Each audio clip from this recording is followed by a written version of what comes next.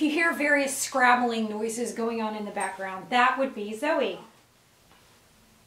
My husband took the older dog to work and left her alone to annoy me at the shop all day. I don't know what I did to deserve this.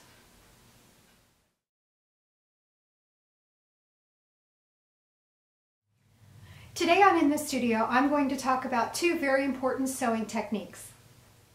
One is pivoting on the needle when you reach a corner, and the other is tying down a point. Neither of these techniques is difficult, but if you do them at the wrong point in the machine rotation, you'll make a knot or break your thread and then you'll think they're difficult. I'm sewing a vamp onto a set of boot tops and vamp tongues have a lot of corners. The first row of stitching I have to tie down all the points. I don't want these points to be peeling up as the customer wears them because that is ugly. What I'm going to do when I get to a corner, I'm going to take one stitch right in that corner all the way down, all the way up, just until the needle comes down again. And now I'm going to lift the presser foot, move it over, and since I brought the needle down a little, I can see where it's going to pierce the leather.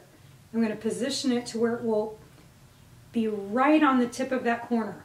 Now I'm going to let go of the lift, make the stitch all the way down, all the way up, coming down again, move it right back over, put it in the very same hole, and pivot on the needle to head in the right direction.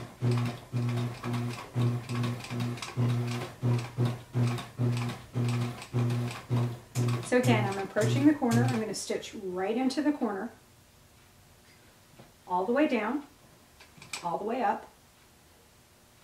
Let it start to come down again so I can tell where it's going to pierce the leather. Move it so that it will come down right over that point, all the way up, all the way down, right back in that hole.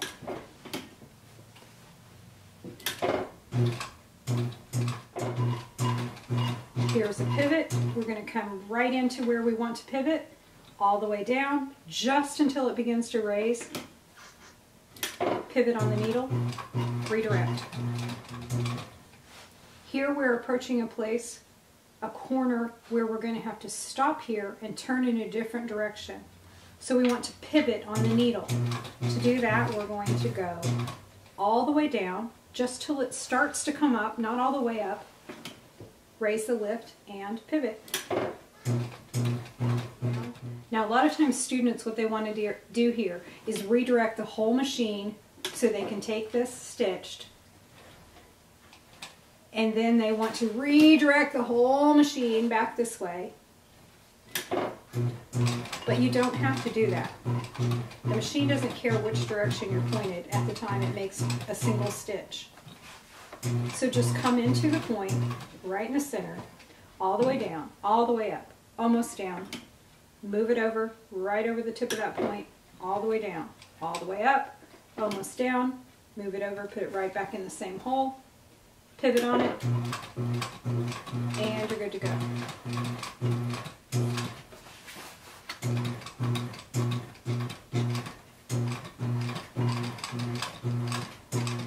Here's another tip when you're sewing multiple items. You don't have to stop here and pull the thread out and cut it off and then start again.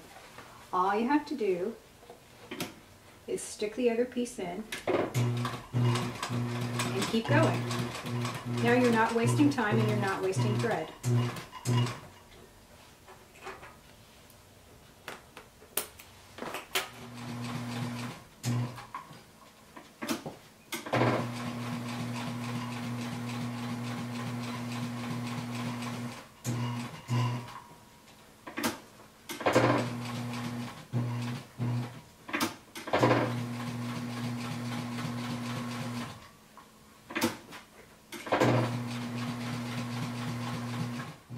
Talking about pivoting and tying down the point, I do want to mention one more thing.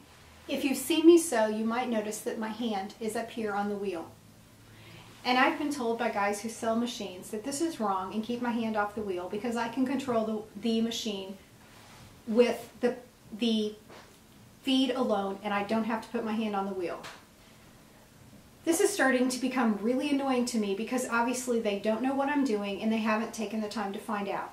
I have to have my hand on the wheel so that I can put the needle in the right position that I was telling you about when I'm pivoting or when I'm tying down a point. I'm constantly putting the needle in the position I need it to be in. And I can't do that with the pedal. It has to be precise. And the pedal, while it is precise, it's not that precise. It is necessary to have your hand on the wheel at some points. You don't have enough control with the feet alone.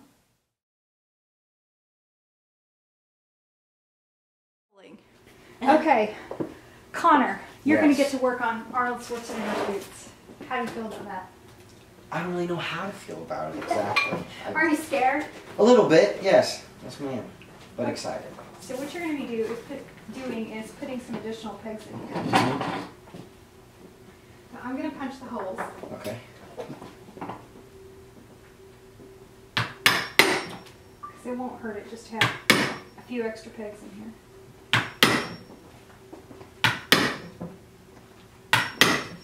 All right, so we punch the holes. Wow. And now what you're going to do next is you're going to take one of these wooden pegs and stick it in there and just tap it until it's seated. And once it's seated, you whack it. just like that. Go for it. Now, see that one's all crooked and yucky? Mhm. Just throw that one on You the floor. want to use the, the nice yeah, ones. use a nice one. And if you bend it, if you break it off, then it's trash. Just throw it on the floor. Oh my goodness. Don't mess it up.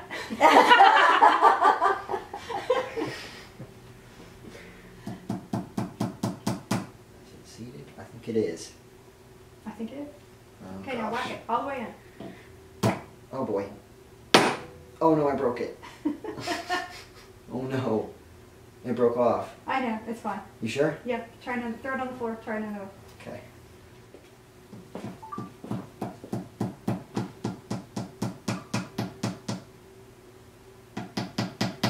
Think that one should be fine. Okay, now if you manage to hit it exactly straight, it'll go all the way in.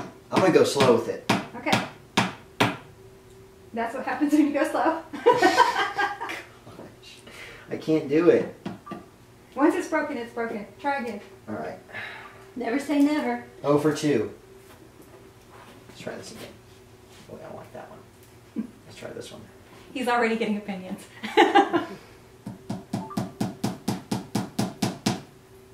Okay, this time I just I gotta I, I can do it. I can do this. Come on, just take your time here. Five hours later, right?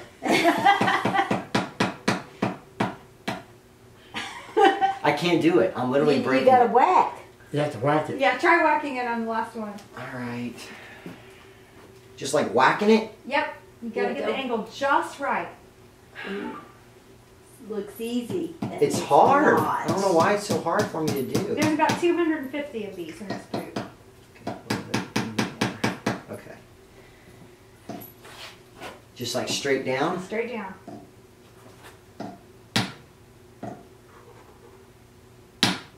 Oh, over four.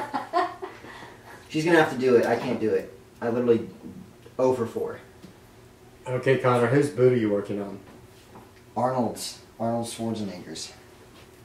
This is unbelievable. And what did you say Arnold will say about his boot? I like. He'll never know there are four broken off pegs in there unless he watches this video. Oh. Sorry, Arnold.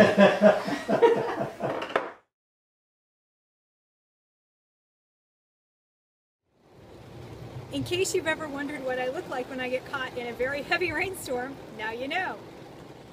I just took my orders for today to the post office and it's pouring rain. There's no point in even hurrying through the rain, you're still going to get soaked.